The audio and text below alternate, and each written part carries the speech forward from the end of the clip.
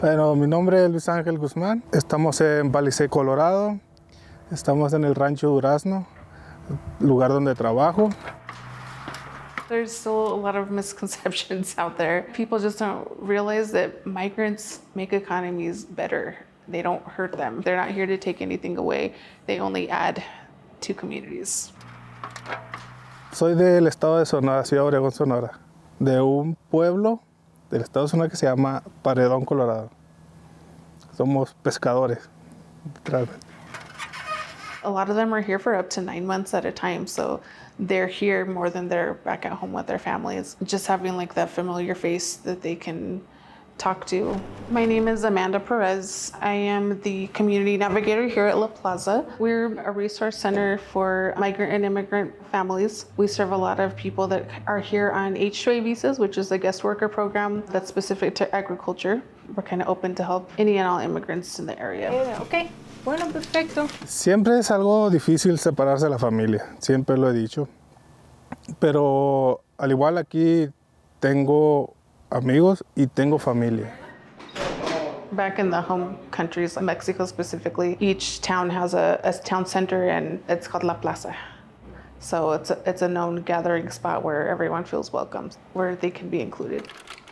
Started, I believe, in 1954. With the growers' wives, they noticed the need in the community for the people that were working for them. There's a lot of people that had their whole families here that would migrate. There was always children involved that were working in the fields as well. And then to get us to where we are now, we are doing a membership model. So they come in, we do a whole intake process with them, um, you know, get to know them a little bit better, what their needs are, what their interests are. And we did that because we really want their input on how we can make things better for them. So they're part of something larger. Papelito de los otros bancos de comida. Yo te di But they come in for a variety of reasons. We have an emergency food pantry that they can come and visit us for that.